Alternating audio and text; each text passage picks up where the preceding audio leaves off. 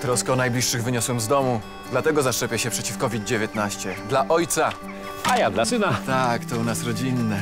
A ty? Dla kogo się zaszczepisz? Dowiedz się więcej na gov.pl ukośnik szczepimy się.